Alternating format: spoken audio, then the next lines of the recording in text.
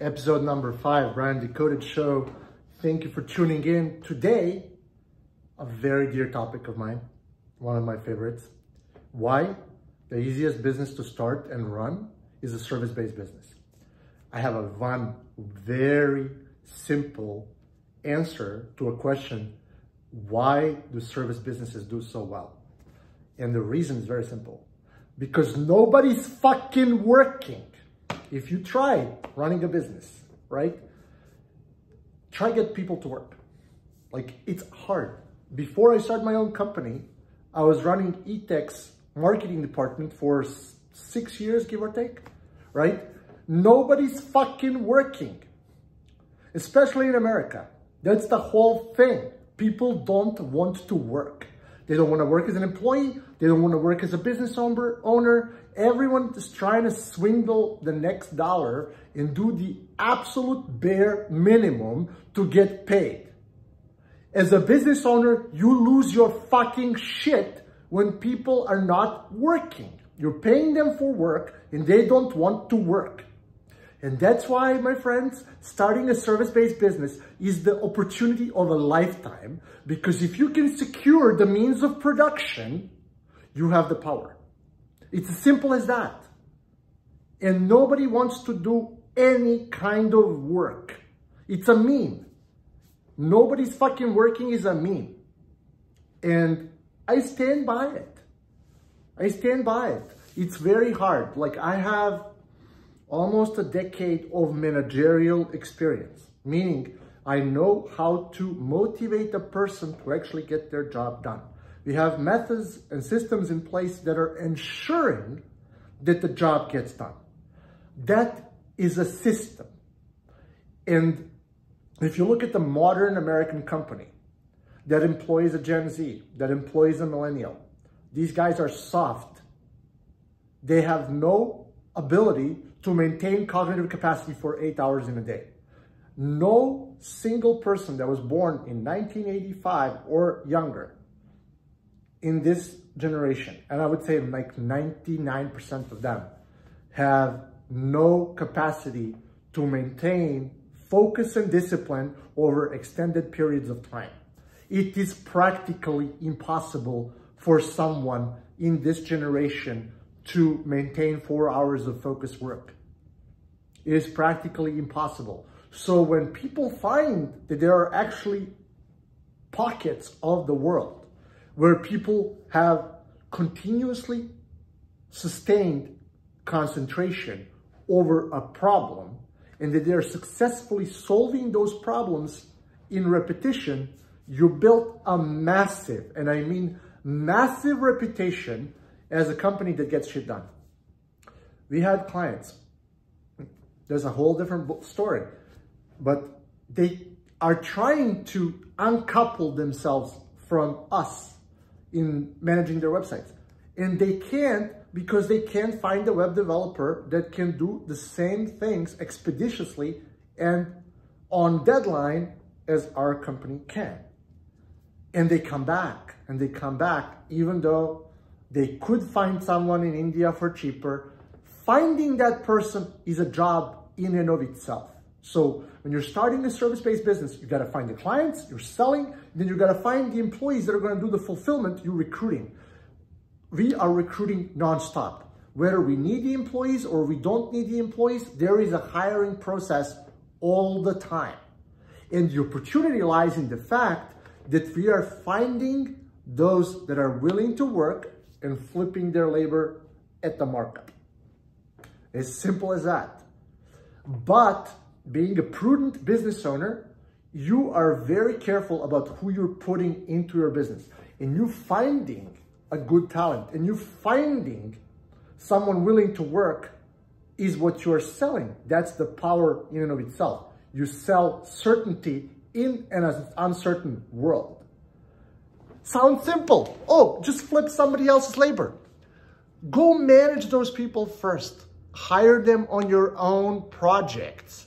Do not sell them immediately. Put them on an internship program. We put our internship program for 120 days. In those 120 days, I know how they breathe, how they sleep, how they think. right? I do not yield and offer someone a job opportunity until I got the taste of who they are as a talent. That's how that's how you make it. There's no other way you're going to do it. And you need to have a good operations team. Someone needs to send all those invoices. Someone needs to process all those emails. And we get hundreds of them.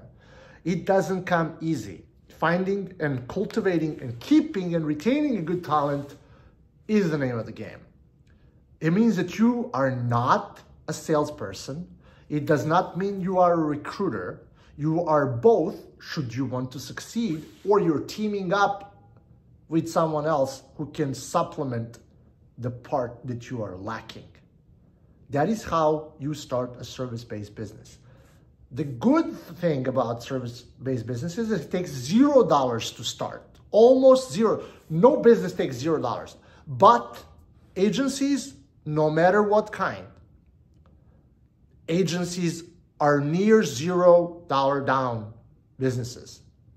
You need to have a good head on your shoulder and you need to take responsibility for what you are embarking on.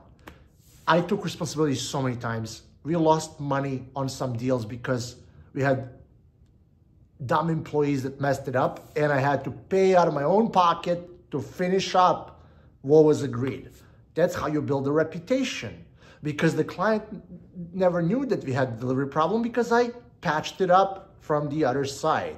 That's how you run a business. If you go look at our reviews, Clutch reviews, Upwork reviews, 100% job success score. I'm defending that reputation for my dear life. I say no to clients that I think could be a pain in the ass so that I can get every job done. That is something that is easing up on your advertising expenses as you're building your company. It doesn't happen on its own. It happens because you made it happen, right? The, the first few years of my business were brutal. I was like under a lot of stress and working 12 hour days because I was taking up the opportunities because I had to. Now I can get choosy. Things are getting easier. There's more profits. There's more marketing. There's more opportunity because I made those opportunities. But in that first on ramp of creating your company takes up a lot of energy.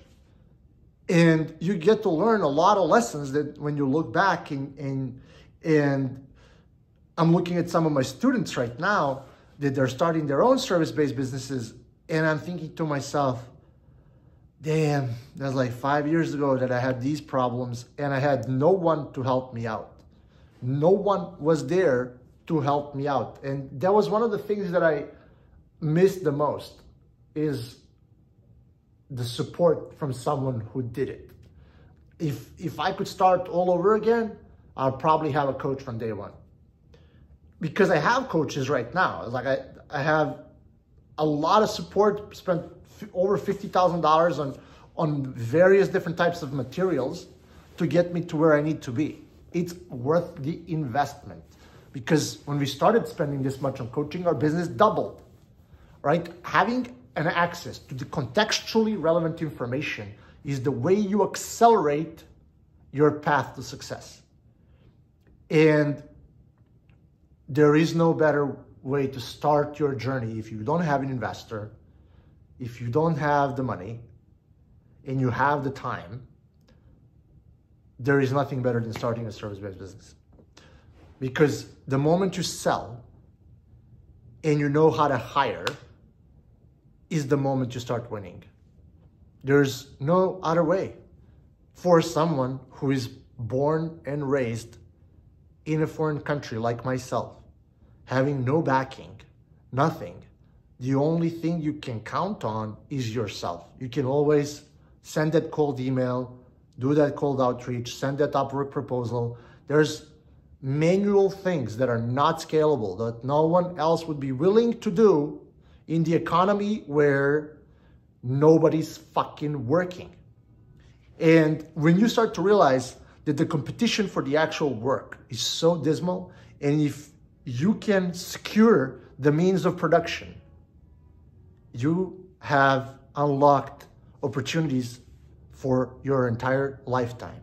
There is no going back to ground zero. You're never going to be broke again. And if you can't find someone else to do the job, guess what? You can do it. There is not that much competition in the market of someone wanting to do the job. Everyone's trying to sell a course. Everyone's trying to flip a product. Everyone's trying to manipulate the client into paying more than they should be. There's all sorts of things going on. And when you try to see who is actually trying to do the job, there is nobody. There's a wasteland. And it's a, such a huge demand for project, com project completions. And that, my friends, is how you make your first big money, is by starting your service-based business. Thank you for watching. Over and out.